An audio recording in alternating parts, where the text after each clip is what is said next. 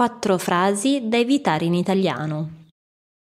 Ciao, io sono Ilaria di laset.com e benvenuti all'episodio numero 181 del mio podcast Italian Language.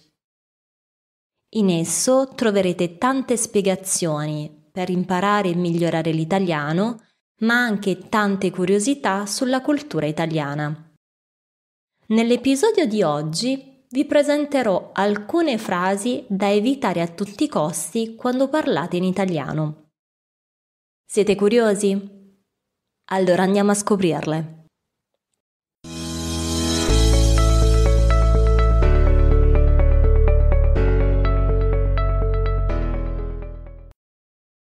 Quando si impara una lingua straniera, la prima cosa che si deve fare e accettare che la lingua che si sta imparando ha regole e strutture diverse dalla propria. Questo ci consentirà di evitare le famose traduzioni parola per parola che potrebbero confondere o far sorridere chi ci ascolta. È proprio questo ciò che voglio mettere in evidenza nell'episodio di oggi. Alcune frasi che sento spesso dai miei studenti e che in italiano non funzionano bene, proprio a causa di una traduzione troppo letterale dall'inglese. Ricordate, non usate le frasi che sto per presentarvi anche se per voi non hanno nulla di male. Potreste dire cose molto negative su voi stesse o sugli altri e urtare la sensibilità di qualcuno, pur non rendendovene conto. Bene, a questo punto vediamo quali sono le quattro frasi italiane da evitare o al massimo da usare con cautela. 1. Essere sbagliato. Essere sbagliato è spesso usato come traduzione di you're wrong, ma in realtà non è la forma corretta. Essere sbagliato significa avere qualcosa che non va, avere dei problemi talmente gravi che sarebbe quasi meglio cessare di esistere. Da questo potete capire che dire a qualcuno tu sei sbagliato oppure rivolgere questa frase a se stessi dicendo io sono sbagliato equivale a dire qualcosa di molto offensivo per gli altri e per noi stessi. Ma allora, qual è la forma corretta per tradurre in italiano I am wrong, you are wrong? In italiano possiamo dire io ho torto e tu hai torto. Visto che stiamo parlando di questa espressione, vorrei spiegarvi velocemente il suo contrario.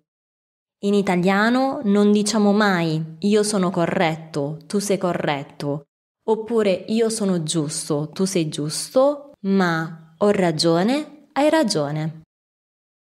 2. Essere finito. Ecco un'altra frase che può essere annoverata tra quelle da evitare in italiano. Anche se essere finito è spesso usato come traduzione di I'm done, I'm finished, esso equivale da un lato a minacciare apertamente qualcuno, usando ad esempio la famosa frase sei finito. Dall'altra parte invece, se ci si autorivolge la frase sono finito, si sta ammettendo una grave sconfitta, dichiarando che non c'è più speranza, non c'è più nulla da fare e non è possibile che la propria situazione migliori. Tipicamente questa è l'espressione usata da chi vede le proprie finanze evaporare e i propri sogni andare in fumo. 3. Essere fatto.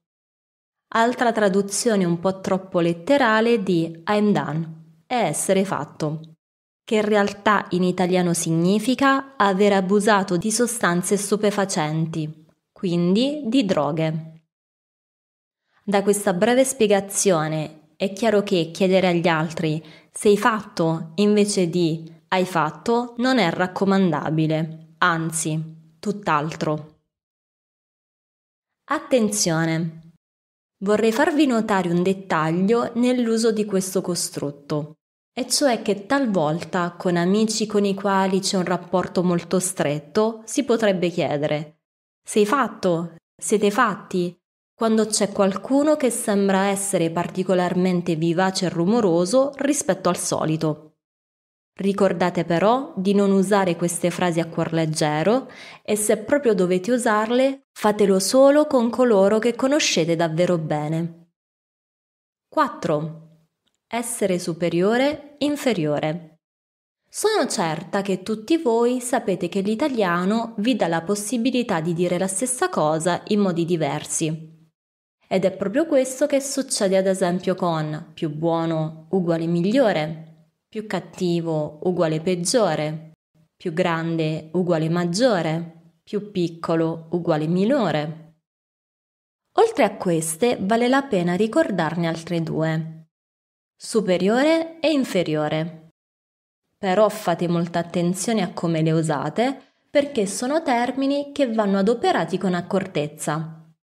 Infatti, anche se superiore significa più alto e inferiore più basso, in italiano non usiamo mai questi vocaboli per indicare l'altezza delle persone o indicare caratteristiche fisiche delle popolazioni. Dunque, meglio evitare frasi come io sono superiore a te e tu sei inferiore a me, che potrebbero farvi apparire decisamente arroganti e presuntuosi caratteristiche tutt'altro che positive. Inoltre è anche bene evitare paragoni del tipo Mediamente i popoli del nord Europa sono superiori a quelli dell'Europa meridionale, anche se con superiori e inferiori volete intendere alti e bassi. A queste quattro frasi vorrei aggiungerne un'altra, che ho già menzionato in un articolo precedente chiamato I 5 errori più comuni in italiano. Fa senso, che per molti è la traduzione di It makes sense. Ricordate, It makes sense in italiano non è fare senso, ma è avere senso. Dunque, Va bene dire Ilaria, la tua spiegazione ha senso, ma non va bene dirmi Ilaria, la tua spiegazione fa senso. Se volete approfondire questo concetto, correte a leggere e ad ascoltare quest'articolo. Conclusione.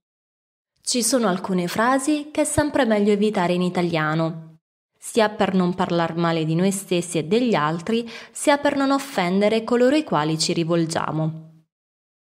Le frasi mostrate precedentemente sono dei buoni esempi a cui è sempre meglio non far ricorso quando si parla per poter conversare piacevolmente con gli altri e mantenere buone relazioni con gli italiani. Se ti è piaciuto questo audio, non perdere l'occasione di dare un'occhiata al mio sito web www.elaset.com, dove troverai tante altre spiegazioni e curiosità sull'italiano.